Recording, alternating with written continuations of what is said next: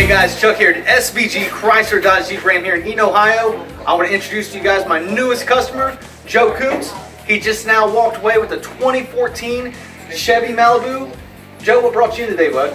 Well, what brought me in is that uh, the advertising that you guys do, do some great advertising, and I saw that, and then plus I knew some people here, so come in to redo my thing.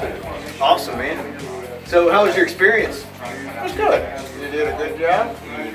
Went through everything with me. You, you explained everything, and I was satisfied with what you explained to me. Awesome, man. Glad to hear that. Last but not least, do you think you would recommend this to anybody? I think I would. Yes, I believe I would. Joe, I appreciate it, sir. Thank you very much. Not a problem. Thank you.